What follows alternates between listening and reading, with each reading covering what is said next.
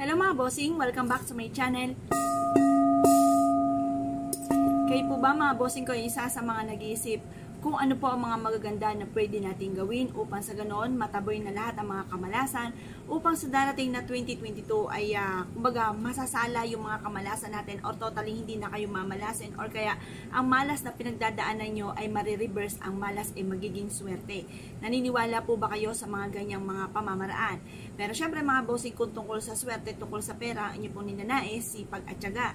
At huwag kang makakalimot tumawag sa mahal na Panginoon. At ito po ilan sa mga sangkap upang sa ganoon maitaboy na natin lahat ang mga kamalasan na yan.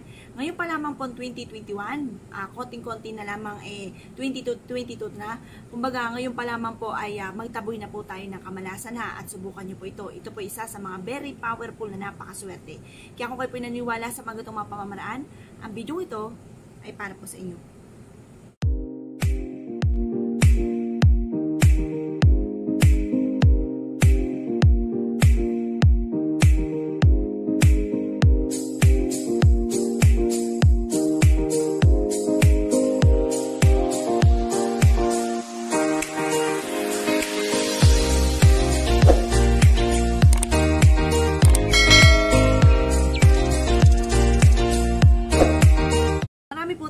Bossing ko ng mga iba't ibang mga pamamaraan para maitaboy ang mga kamalasan.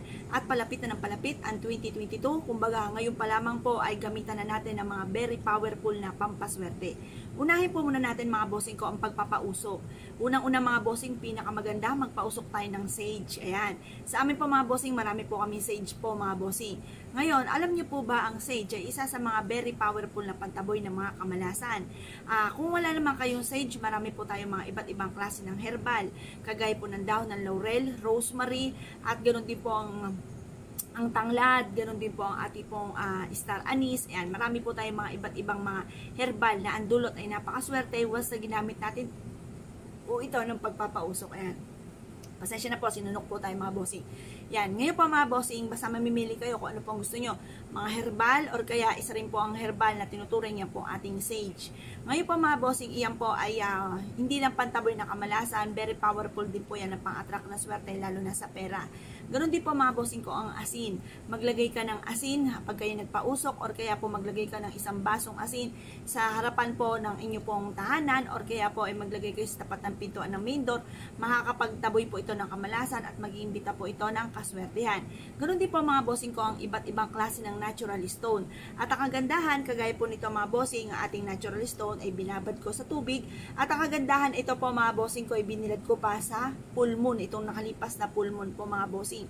Ngayon po mga bossing, mag-welcome kayo ng mga natural stone ngayong taon na ito at ang hanggang sa susunod po na taon mga bossing kasi mabisa po yung pang-attract na kaswertehan.